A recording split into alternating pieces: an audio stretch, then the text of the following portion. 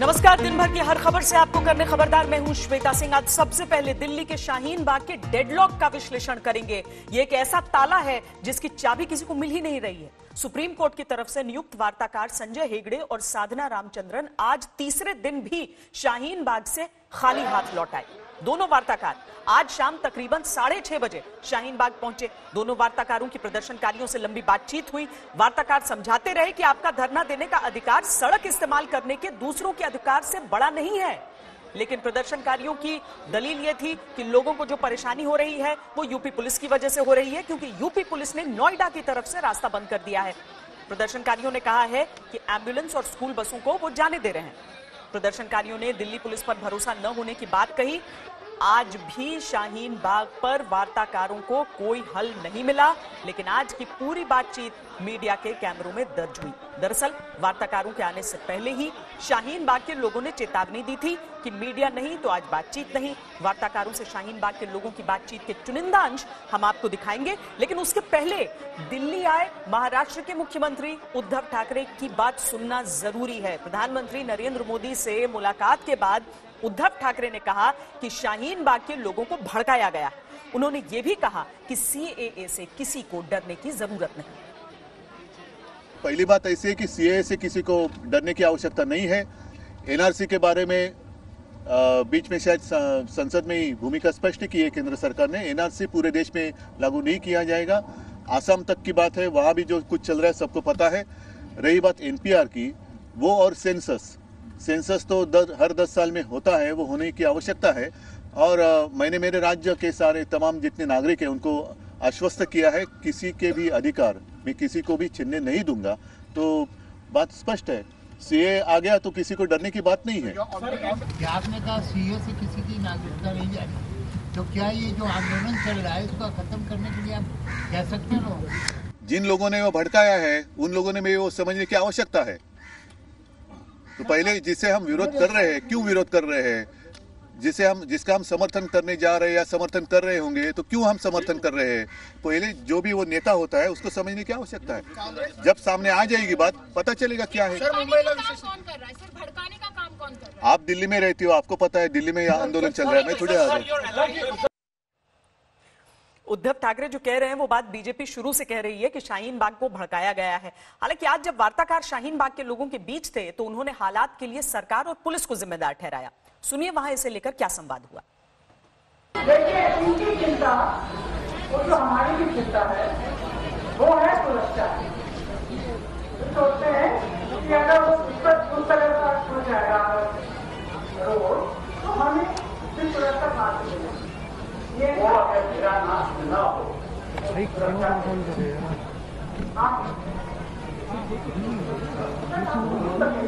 पहले भी आपके यहाँ मत से मैंने रिक्वेस्ट की थी कि एक महीने पहले करीब थी दूसरा दर्ज का देखिए हमने मना कर दिया उसे पर हमने आपको ये कहा था कि हम बीच में बैरिकेड हाँ।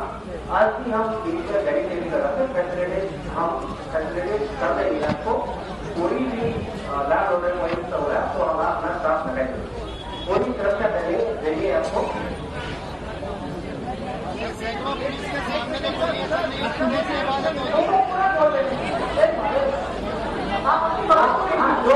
अगर आगे जो है तो हमारी तरफ़ से जो है, वो पूरी हम पूरी देंगे। ये कहना है काफ़ी नहीं है हमें निश्चित रूप से दिल्ली पुलिस से सिक्योरिटी चाहिए लिखित में उन्होंने बैरिकेड अपनी तरफ़ से लगा इसलिए कि हम लोग महसूस रहे सही अगर आज ये लिखित करके हमको कह रहे जैसे एंबुलेंस भी वहाँ से जा रही है बच्चों की बसें भी जा रही है सब लोग जा रहे हैं आज जिसके लिए सरकार लोग परेशान है कि ये बच्चों की बसें जा रही उन्हीं बच्चे जब यूनिवर्सिटी पहुँचते हैं उनके सर खोले जाते हैं उनकी आँखें खोले जाती है उनके साथ जाती है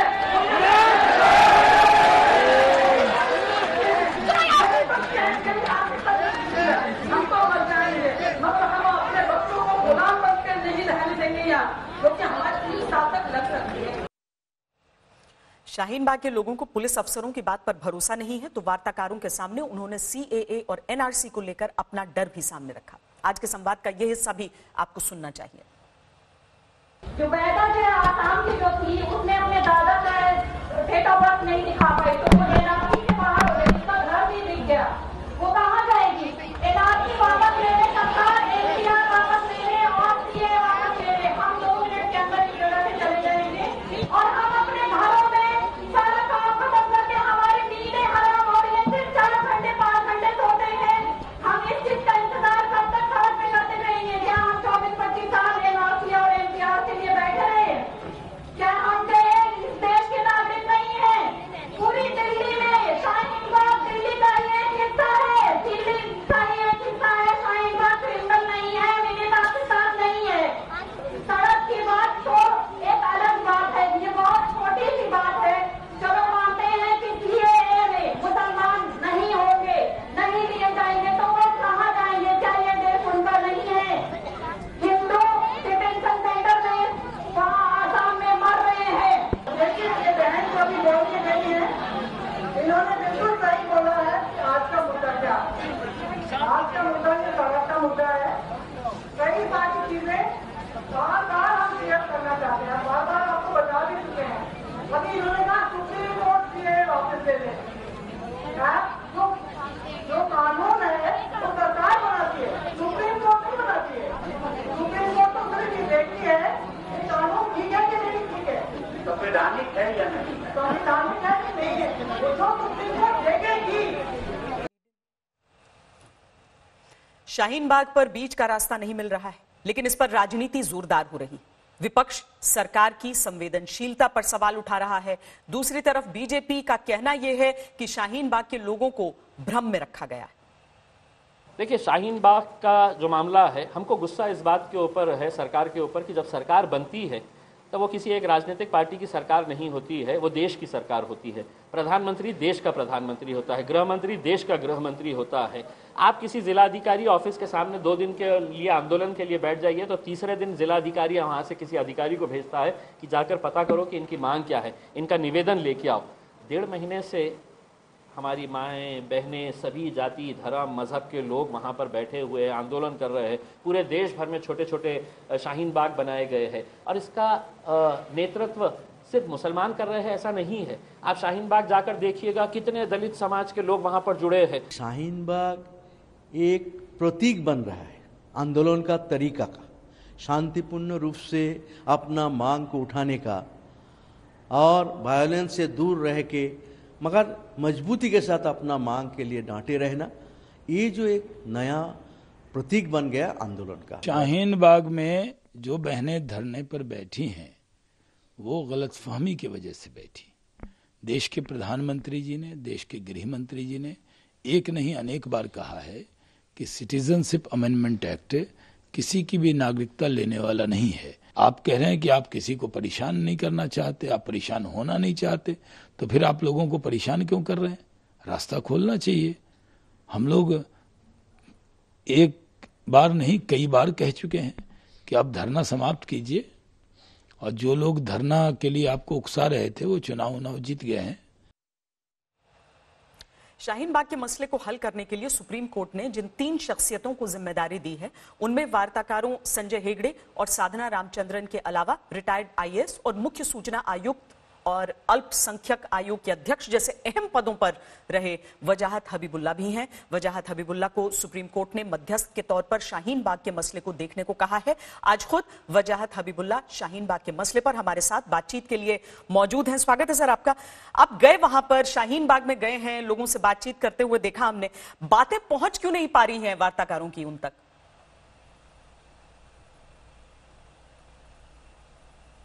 नहीं एक तो पहले सब मैं ये ये ये बात दुरुस्त करूँ मैं वार्ताकारों में से नहीं हूँ। वार्ताकारों वार्ताकार केवल दो हैं और वो हैं साधना रामचंद्र रामचंद्रन और संजय हेगड़े जी। जहाँ तक कि मेरा ताल्लुक़ है मैं अ, मैंने पहले उसके अंदर केस में मुदाखलत की है और क्योंकि मैंने अपना अपने को एक एक कंसर्न सिटीजन समझा है और उसके उसके उसको उसके नाते और वो चंद्रशेखर आज़ाद जी और अब्बास के साथ हमने एक इंटरवेंशन किया है। तो इन इंटरवेंशन के लिए के, के के नतीजे में मुझे उन्होंने नियुक्त किया है कि मैं सहायता करूँ वार्ताकारों की। तो मैं वार्ताकार नहीं हूँ। किंतु मेरा मेरा मेरा जो संबंध है वह पहचाना है सर्व सर्वोच्च न्यायालय ने और कहा है कि उन कॉमनैलिटी ऑफ़ इंटरेस्ट के बारे में हमें हमारे बात कहा कि मैं उनका हमदर्द हूँ। लिहाजा उनकी बा, उनकी बात जनता की बात मैं मैं प्रकट करूँ वार्ताकारों को और वार्ता वार्ताकारों की बात जनता तक पहुँचाऊँ। नहीं लेकिन एक चीज़ इसमें समझ में नहीं आ रही है। जब तो इस तरह का आंदोलन होता ये, है सर। ये मेरा काम है और जहाँ तक कि मेरा जहाँ मेरा जब काम ऐसा है- आंदोलन होता है जिसका कोई नेतृत्व नहीं होता है कोई लीडरशिप नहीं होती है तो उसमें वार्ताकार बात किससे करते हैं? बात किससे हो रही है? जी। तो इसीलिए तो मैं कह मैं ये ये तो बात यही तो इस इस इस इस, इस आंदोलन की की खूबी है। वो जितने भी हैं सारे लोग और इसमें शिकायत भी हुई है और और बात का बात भी हो रही है कि अब किससे बात करें? एक कोई नेता इनका है नहीं लेकिन ये जो ये दादियाँ कहती हैं कि दादियाँ का की, के नेतृत्व में हो रहा है तो उनके सबसे बात करनी और इसमें जो जो जो एक एक, सुंदरता है तो वो ये है कि सब मुत्तहिद होकर बात कर रहे हैं। ये मैंने पाया जो मैं, मैं लेकिन मैं तो मैं जैसे मैंने कहा मैं वार्ताकार नहीं हूँ तो मैं कोई सिफारिश करने वाला नहीं हूँ सर्वोच्च न्यायालय के सामने। किंतु जो बातें मुझे मुझे सुनने में आई हैं जनता की तरफ़ से वह अवश्य मैं सर, सर्वोच्च न्यायालय के सामने पेश करूँगा। और वो पाँच छः हैं जिसके बारे में उन्होंने चाहा भी है कि ये सी ए वगैरह की जो की के जो केस चल रहे हैं उनके वो अलग से केस हैं लेकिन उसमें रोज़ाना के लिए हियरिंग वगैरह किया जाए। तो ये जो उनकी मांगे हैं मैं उनको पेश कर दूँगा। सर्वोच्च न्यायालय के सामने। पर वजाहत हबीबुल्ला साहब ये बात समझ में आती है? वहाँ से बहुत लोगों ने गुस्से में ये कहना शुरू किया कि हम एंबुलेंस को जाने देते हैं। हम स्कूल बसेस को जाने देते हैं। लेकिन जब मैं खुद वहाँ पर रिपोर्टिंग के लिए गई मुझे एक बुज़ुर्ग मिले जिन्हें अपने भाई को देखने के लिए अस्पताल जाना था। वहीं से रूट था उन्हें नहीं जाने दिया गया। तो इन सारे केसेस को कैसे हम देखें? जो लोग इमरजेंसी में एयरपोर्ट जाना चाहते हैं, उन्हें फिर भी इमरजेंसी सिचुएशन का कोई लाभ नहीं है। दो से ढाई घंटे ईस्ट दिल्ली से उनको लग ही जाएँगे, या नोएडा से। अब इसमें पुलिस पर आरोप, वहाँ के लोगों पर आरोप, ऐसे तो कभी सुलझेगा ही नहीं, कोई नेतृत्व नहीं होगा। तो वार्ता किस बात की? नहीं, जहाँ तक कि मेरा ताल्लुक़ है तो मैं सारे मैंने वहाँ वहाँ मुआयना किया, मैंने इंस्पेक्शन किया बाकी बहुत सारे रूट्स हैं। ये एक साइड रूट पे है, जहाँ ये कोई एक डेढ़ सौ मीटर की की जगह है, स्थान है, जिसके ऊपर ये प्रदर्शन हो रहा है। बाकी सारे रूट्स जो हैं, वो ब्लॉक किए हुए हैं, पुलिस की की तरफ़ से। और जैसे आपने सुना होगा, आज शिवरात्रि के दिन कुछ रूट्स खोले गए थे। किसने खोले थे? पुलिस ने खोले थे। और वहाँ यूपी पुलिस ने भी अपनी तरफ़ से भी कुछ रोका हुआ है। जो नोएडा की सड़क जाती है, वो यूपी पुलिस और काफ़ी दूर। ये नहीं कि वो प्रदर्शन के पास कोई रोका है, वो काफ़ी डेढ़ किलोमीटर, दो किलोमीटर दूर है। ये सब मैंने जाके स्वयं देखा है और ये सारी बातें मैं सर्वोच्च न्यायालय की नोटिस में लाऊँगा। ये कहा जा रहा है कि वहाँ पर जो लोग बैठे हैं, वो कोई सम्मानजनक एग्जिट रूट का इंतज़ार कर रहे हैं।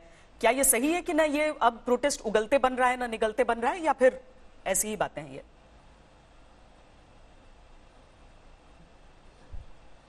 नहीं मुझे तो किसी किसी ने ऐसी बात कही नहीं। अ, मेरे ब- मेरी बड़ी बड़ी अच्छी बातें हुई उनके साथ और वहाँ पूरी तरह से शांतिपूर्वक वातावरण है तो वहाँ कोई भी जा सकता है बैठ सकता है बात कर सकता है।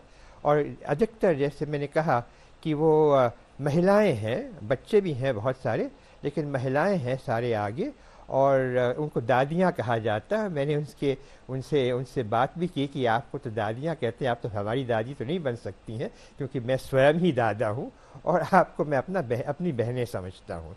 तो इस इस वातावरण में बातचीत करना बहुत सरल है और वो जो मैंने कहा कि मेरा जो काम था कि बातचीत करवाने के लिए तैयार करना लोग, वो तो मेरा काम तो बहुत ही सरल हो गया क्योंकि वो बात करने के लिए तैयार हैं।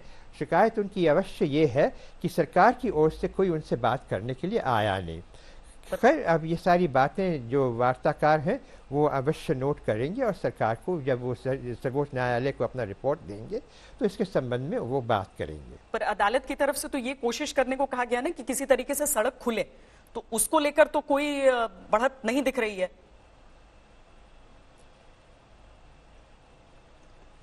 हुजूर आला वो सड़कें जैसे मैंने बताया आपको एक साइड रोड है जहाँ प्रदर्शन हो रहा है। चारों तरफ़ और सड़कें हैं, बहुत सारी सड़कें हैं, और वो बंद हैं। और किसके बंद हैं, किस लिए बंद हैं, ये ये ये बात पुलिस से पूछने की आवश्यकता है। चलिए, बहुत शुक्रिया हमसे बातचीत करने के लिए। वजात हबीबुल्ला कह रहे थे कि शाहीन बाग का जो मसला है, वहाँ पर बातचीत हो रही है। अब वहाँ से, उस सड़क से लोगों का उठना, न उठना कितना महत्वपूर्ण है, ये इस बात पर भी उनके हिसाब से निर्भर है कि जो अगल बगल की सड़कें हैं, वो पुलिस क्यों नहीं खोल सकती। बहरहाल, आगे ये कानून व्यवस्था के हिसाब से दिल्ली पुलिस को और उसके साथ ही सुप्रीम कोर्ट को जो जानकारी दी जाएगी वार्ताकारों द्वारा। उसके ज़रिए देखना होगा। लेकिन शाहीन बाग को लेकर टकराव बना हुआ है तो सबसे बड़ा सवाल यह है कि क्या सरकार को कोई पहल नहीं करनी चाहिए? दिल्ली में सातों सांसद बीजेपी के हैं, इसलिए भी उनकी ओर से कोई पहल को लेकर सवाल उठ रहे हैं। शाहीन बाग, जिस संसदीय क्षेत्र के सांसद गौतम गंभीर हैं, और इसीलिए आज हमने उनसे शाहीन बाग के धरने को लेकर कुछ सीधे सवाल किए। गौतम गंभीर, खबरदार में आपका स्वागत है। सबसे पहले तो यह बताइए कि सत्तर दिन होने को आ रहे हैं। शाहीन बाग का मामला सुलझा नहीं ऐसा लग रहा है कि उनकी जिद है तो सरकार की भी जिद है और जिद से समाधान निकलेगा नहीं। देखिए, सरकार ने बहुत बार क्लैरिफाई कर दिया, प्रधानमंत्री जी ने क्लैरिफाई कर दिया गृह मंत्री जी ने क्लैरिफाई कर दिया कि जिस चीज़ के लिए आप प्रोटेस्ट कर रहे हैं, वो चीज़ नागरिकता देने का कानून है, नागरिकता लेने का कानून नहीं। अगर आपको लग रहा है कि एनआरसी आने वाले, वो हमारे प्रधानमंत्री जी ने क्लैरिफाई कर दिया कि एनआरसी के बारे में इवन अभी तक तो डिस्कशंस भी स्टार्ट नहीं हुई है।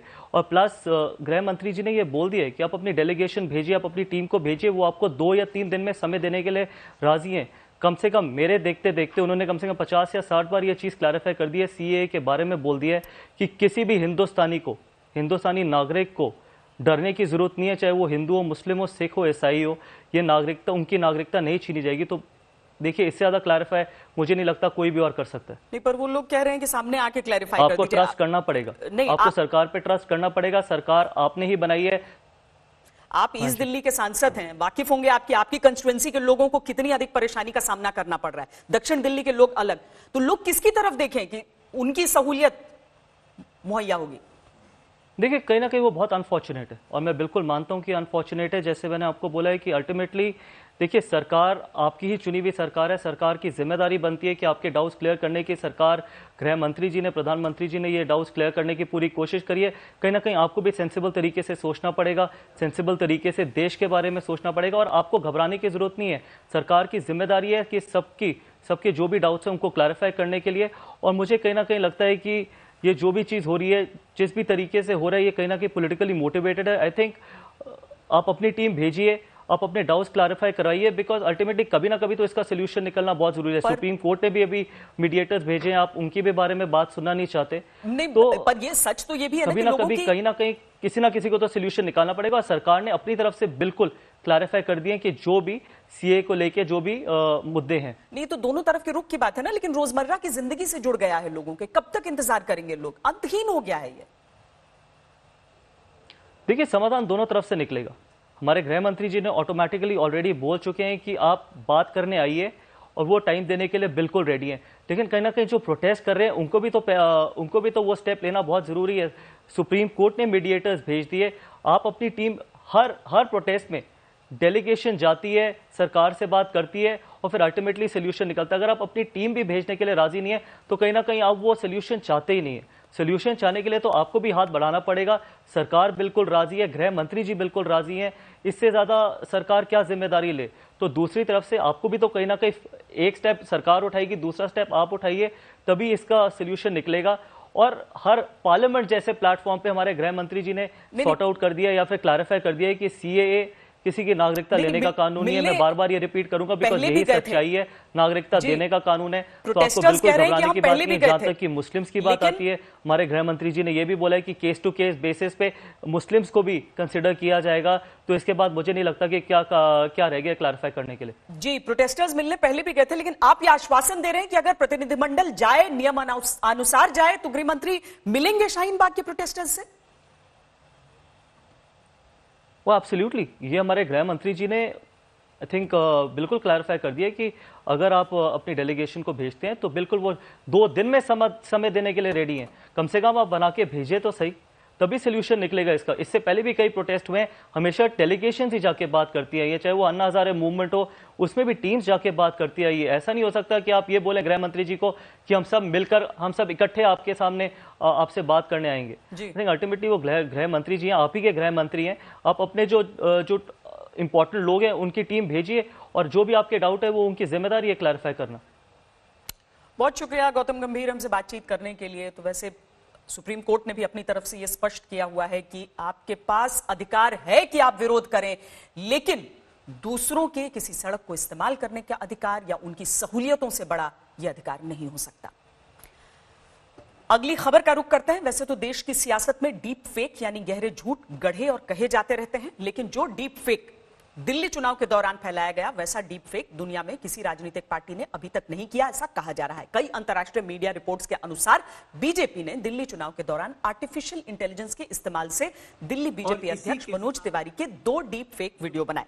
इन वीडियोज़ को तकनीक के ज़रिए इस तरह से तैयार किया गया जिससे लगता है कि मनोज तिवारी अंग्रेज़ी और हरियाणवी में बोल रहे हैं जबकि वास्तव में उनका ओरिजिनल वीडियो हिंदी में है। मनोज तिवारी का ओरिजिनल वीडियो और दोनों डीप फेक वीडियो इस समय आप अपनी टीवी स्क्रीन पर देख रहे हैं। असली वीडियो में मनोज तिवारी हिंदी में नागरिकता कानून पर बात कर रहे हैं, जबकि हरियाणवी और अंग्रेज़ी में बने डीप फेक वीडियोस में मनोज तिवारी केजरीवाल सरकार के वादों पर निशाना साधते हुए सुने जा रहे हैं।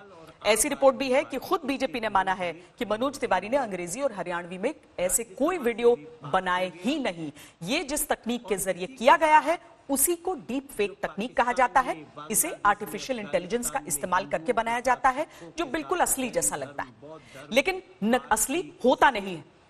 वाइस मीडिया की रिपोर्ट के अनुसार बीजेपी ने माना है कि उसने मनोज तिवारी की ये डीप फेक वीडियो दिल्ली चुनाव से एक दिन पहले यानी सात फरवरी को रिलीज़ किए थे। इसका मकसद दिल्ली चुनाव से पहले वोटरों तक अपनी पहुँच बढ़ाना था।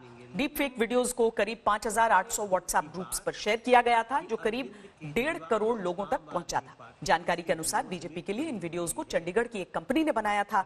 इसे लेकर कई अमेरिकी मीडिया हाउसेस ने चिंता जताई कि भारत में डीप फेक टेक्नोलॉजी का इस्तेमाल राजनीतिक पार्टियों के लिए होने लगा है। ऐसे में अमेरिका में होने वाले राष्ट्रपति चुनावों में भी इसका असर देखने को मिल सकता है। भारत में यह पहली बार है जब चुनाव प्रचार में किसी भी रूप में ऐसे वीडियो इस्तेमाल किए गए। ये डीप फेक वीडियो किस तरह असली और नकली चेहरे का फ़र्क मिटा देते हैं, आप देखिए।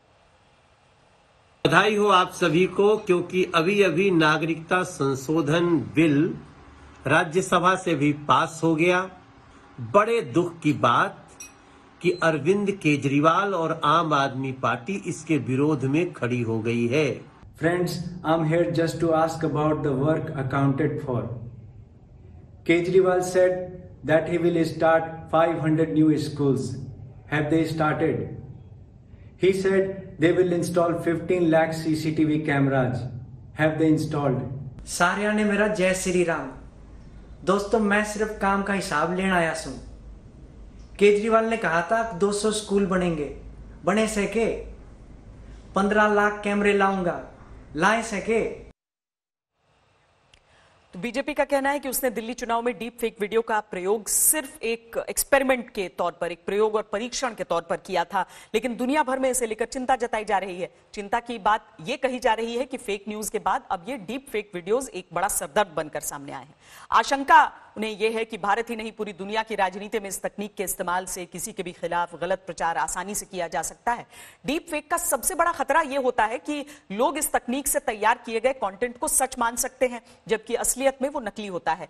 जानकार कहते हैं कि यह तकनीक चुनावों और राजनीति को बड़े स्तर पर प्रभावित कर सकती है। इससे किसी उम्मीदवार को कोई ऐसा काम या बात कहते हुए दिखाया जा सकता है जो उसने कभी कही ही ना हो।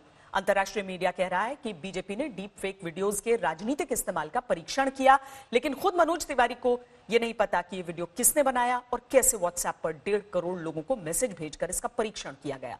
मनोज तिवारी से जब हमने बात की तो उन्होंने इसके बारे में पूरी जानकारी होने से इनकार किया। हालाँकि उन्होंने यह माना कि उन्होंने अपना वो वीडियो तो ज़रूर देखा है, जिसमें वो हरियाणवी बोल रहे हैं, लेकिन वो खुद उन्होंने रिकॉर्ड नहीं किया। मनोज तिवारी इस डीप फेक टेक्नोलॉजी की तुलना फ़िल्मों की डबिंग से भी कर रहे हैं। मनोज जी, वो कौन सा वीडियो है? क्या है? आप जानते हैं क्योंकि वो वायरल हो रहा है। नहीं, मुझे पता नहीं। एक वीडियो तो मैं भी देखा हूँ, जिसमें मैं हरियाणवी बोल रहा हूँ। पर मैंने वो नहीं बोला है, आवाज़ किसी और की है। जैसे वीडियो पे कोई वॉइस डब हो जाती है, ऐसा कुछ एक देखा। बट वो मुझे पता नहीं किसने किसने बनाया।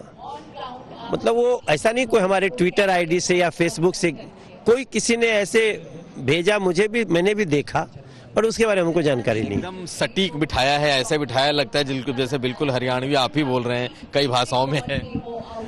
ये तो कोई बड़ी टेक्नोलॉजी थोड़ी है फ़िल्में रोज डबिंग होती है आपको देखते समय थोड़ी लगता है कि वो आ, बोलने वाला बाद में बोल रहा है। ये तो होता ही रहता है।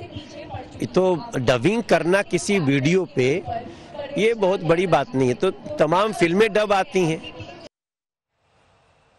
वैसे दिल्ली चुनाव में भले ही डीप फेक वीडियोस के पहली बार इस्तेमाल की बात कही जा रही हो, लेकिन ये तकनीक अब तेज़ी से प्रचलित होती जा रही है। कुछ समय पहले स्विट्जरलैंड के दावोस में वर्ल्ड इकोनॉमिक फोरम के सम्मेलन में भी इस डीप फेक तकनीक को प्रदर्शित किया गया था। तब आज तक की टीम ने भी इस तकनीक का डेमो किया था। आर्टिफिशियल इंटेलिजेंस की मदद से इंसान के चेहरे को बदलने और किसी और की तस्वीर और वीडियो को किसी और की आवाज़ से मिक्स कर देने जैसे तरीके डीप फेक वीडियोस की तकनीक में शामिल होते हैं। इससे इंसान का अंदाज, आवाज़ और हाव भाव तक बदले जा सकते हैं। लेकिन देखने में सब कुछ असली लगता है। जानकारों के अनुसार, भारतीय राजनीति में जहाँ पहले से ही फेक न्यूज़ का बोलबाला है, वहाँ अब ये डीप फेक वीडियोस क्या गुल खिलाते हैं, ये सामने आने में ज़्यादा समय नहीं लगेगा। देश पर जान कुर्बान करने वाले शहीदों को पूरा देश सल्यूट करता है, लेकिन आज हम सल्यूट करेंगे एक शहीद की पत्नी को, जो अपने पति के सपने को पूरा करने के लिए भारतीय सेना में अफसर बनने की तरफ़ कदम बढ़ा चुकी हैं। हम बात कर रहे हैं शहीद मेजर विभूति ढोंडियाल की पत्नी निकिता ढोंडियाल की। एक साल पहले पुलवामा में आतंकियों से लोहा लेते हुए शहीद हुए मेजर विभूति ढोंडियाल का पार्थिव शरीर जब देहरादून में उनके घर पहुँचा था तो उनकी पत्नी निकिता ढोंडियाल ने जिस जज्बे के साथ अपने शहीद पति को अंतिम विदाई दी थी, वो दृश्य देश कभी भुला नहीं सकता। अपने पति की शहादत के एक बरस बाद। अब निकिता उनके सपने को जल्द पूरा करने जा रही हैं। पति की शहादत के बाद निकिता ने सेना में जाने का मन बनाया था, जिसके लिए वो एक साल से तैयारियों में जुटी थी। निकिता ने हाल ही में एसएससी की परीक्षा और इंटरव्यू पास कर लिए हैं और अब निकिता ढोंडियाल अपने शहीद पति की तरह ही सेना में शामिल होकर देश की सेवा के लिए तैयार है।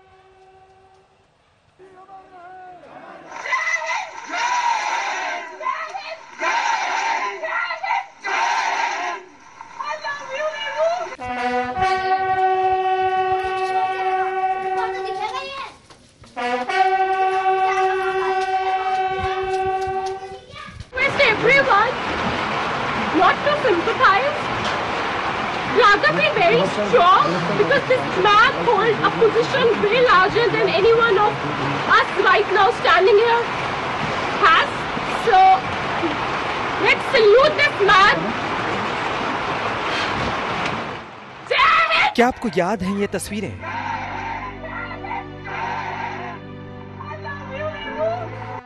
जिसे देखकर पूरे देश की आँखों में आँसू आ गए थे, जब एक शहीद की पत्नी ने अपने पति को अकल्पनीय अंतिम विदाई दी थी।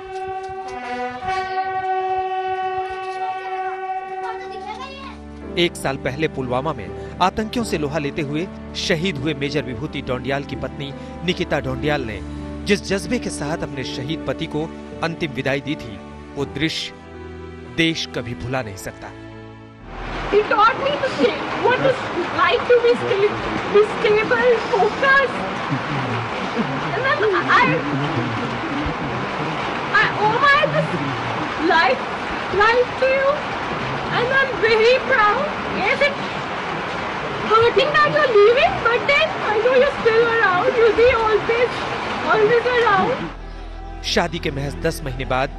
पति की शहादत की खबर मिले तो मज़बूत से मज़बूत दिल का इंसान भी टूट जाता है। लेकिन निकिता ने दिखा दिया कि एक शहीद की पत्नी होना क्या होता है। वो चाहती तो भूल जाती अपने पति से किए वादों को, लेकिन वो जुट गई अपने पति से किए एक वादे को पूरा करने में। अपने पति की तरह सेना में भर्ती होकर देश सेवा करने के इरादे के साथ पूरे जी जान से। और महज एक साल के भीतर निकिता ने देश को बताया कि वो अपने पति से किए वादे को पूरा करने के कितने करीब पहुँच चुकी है? मेरा एस एस क्लियर हो चुका है मेडिकल क्लियर है। तो अभी मैं मेरिट वेट लिस्ट का वेट कर रही हूँ। जैसे ही वो आएगी एंड आई एम होपिंग कि I will make through it I be joining army Nikita ने शॉर्ट सर्विस कमीशन यानी एसएससी की लिखित परीक्षा क्लियर कर ली है। इसके अलावा उन्होंने इंटरव्यू राउंड भी क्लियर कर लिया है। अब वो मेरिट लिस्ट के जारी होने का इंतज़ार कर रही हैं ताकि एक कैडेट के रूप में सेना में शामिल हो सके। एक शहीद की पत्नी अपने पति के नक्शे कदम पर चलते हुए अपने पति की तरह ही सेना में शामिल होकर देश सेवा की राह चुने। पति की शहादत को श्रद्धांजलि देने का इससे बेहतर तरीका और क्या हो सकता है? I see Vibhu and my family, my parents, um, my mother-in-law as a motivation, as a source of motivation for me. काफ़ी मोटिवेट किया उन्होंने काफ़ी हेल्प किया।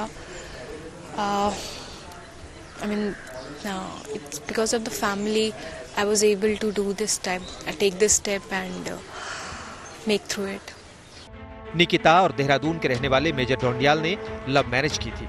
जिस वक्त मेजर ढोंडियाल की शहादत हुई, तब निकिता दिल्ली में एक मल्टीनेशनल कंपनी में नौकरी करती थी।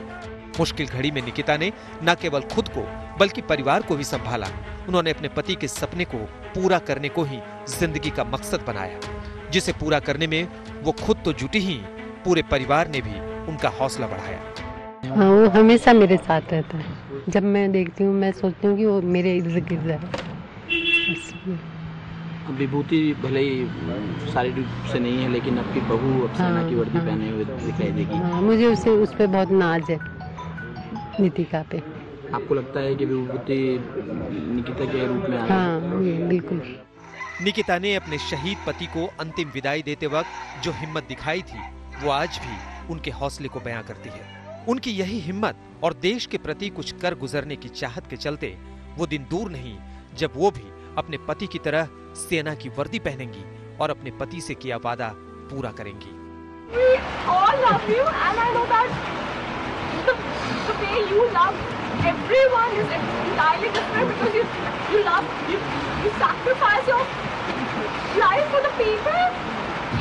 Who you may have never even contacted or even known, but still you decided to lay your life for them. Such a braveness, and I'm very honored to have you as my husband. Till my last breath, I always love you, Vivu. Dilip Singh Rathore Dehradun आज तक